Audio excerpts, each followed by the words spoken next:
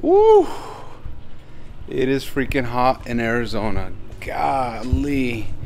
You kind of forget how freaking warm these places are. Like the I see all my buddies posting and everything online or on social media and stuff like that.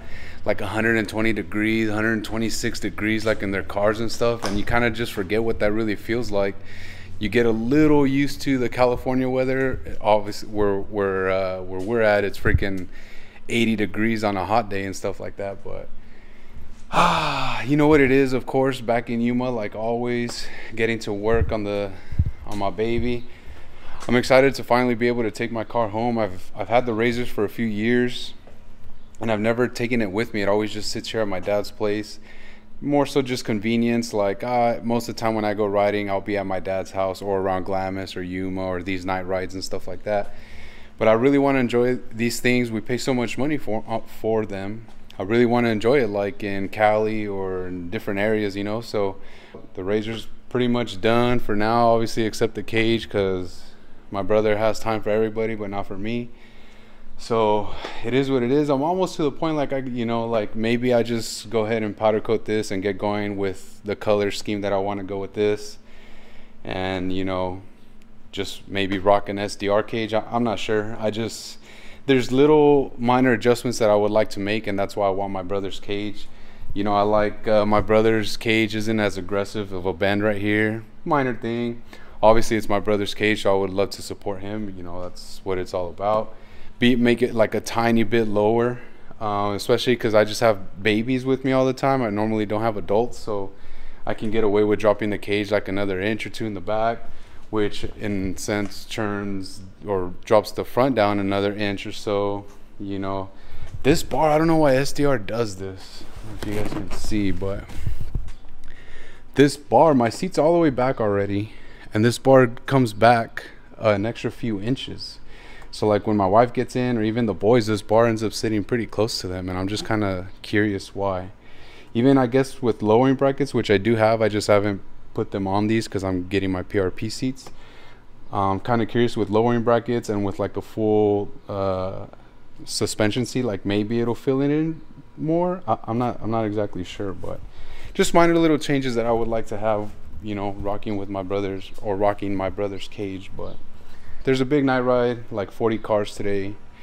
Um, maybe 40 plus i don't know we'll probably end up with like the same typical 10 15 cars because as soon as we get going people get lost people go too slow people take the wrong turns and then you end up freaking somewhere else with a whole different group of people so. I'm gonna get to work. I got some evo goodies. Um, got the blow off valve got the charge tube. Um, really that's it. I want to make some adjustments to my clutch because like I took away the heavy duty spring, but it still engages like kind of rough. So I'm assuming that's just based off the adjustments that were made for the heavy duty spring. So I'll probably mess with that and just get it ready for tonight. So should be a good one. I'm gonna get to work now. Took advantage of that Evo sale they had like a couple weeks ago, like 25% off or something like that for their charge tube. So got that. I wish they were able to apply that to a black one, but it was just for like the different colors, not the black. Which, whatever. I mean, it'll stand out a little bit, but nothing too much. And I also uh, got their new and improved blow-off valve, so I'm pretty excited to get this thing on there just to have that little noise. It sounds kind of cool, you know. And as always, the freaking stickers, you know, makes all your purchases worth it. You know, as long as you get some stickers, it's all Gucci. Big difference right there. Mmm. Well, kind of hard to see. You can see the little Evo blow-off valve right there, the little Evo marking. Obviously the charge tube.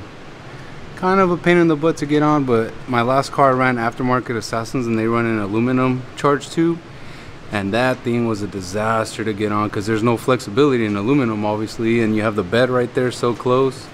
It freaking sucks. So this time I decided to and the only reason I went AA on my last one was because Evo was out of stock on these at that time. So I just said ah whatever but you know I kind of don't know. Evo claims silicone is better to dissipate heat. AA claims aluminum and AA runs like an aluminum charge tube, aluminum intake, while Evo does silicone charge tube and silicone intake. I'm a fan of Evo stuff. They have like, they look clean. This one I'm just doing all Evo, whatever. Uh, gonna clean up the clutch and put the cover back on and that should be it. My pops came through and closed the doors and turned the AC on so I wouldn't be struggling, so yeah.